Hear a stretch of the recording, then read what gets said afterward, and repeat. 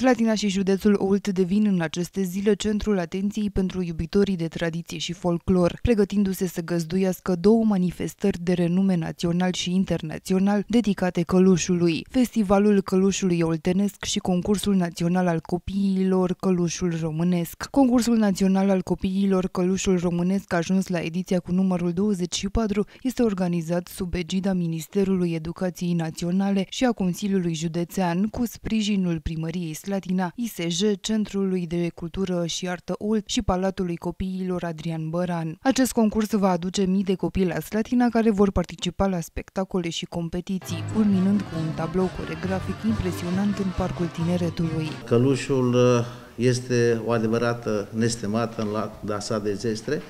Știm bine cu toții că acest dans, acest joc nu mai aparține doar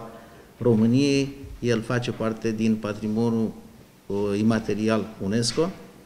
și de aceea atenția pe care o acordă Consiliul, Consiliul Județean uh, acestui gen de manifestări dedicat călușului este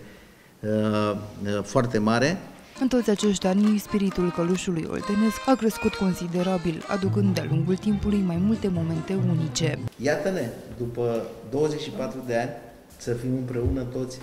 coregrafii, să înțelegem că fiecare suntem pe drumul nostru, că împreună suntem puternici și cred că ne amintim cu toții cu plăcere că împreună am făcut acel prima demonstrație cu 300 de călușari, apoi uh, intrarea în Cartea Recordurilor cu 1052, uh, când se joacă românești de România de centenar, l-am aniversat, și terminând cu călușul unește România împreună putem să facem. Evenimentele dedicate sărbătoririi călușului nu sunt doar o celebrare a tradițiilor locale, ci și o oportunitate de a promova județul Ult pe plan național și internațional, evidențiind bogăția culturală a comunității în păstrarea și promovarea valorilor românești.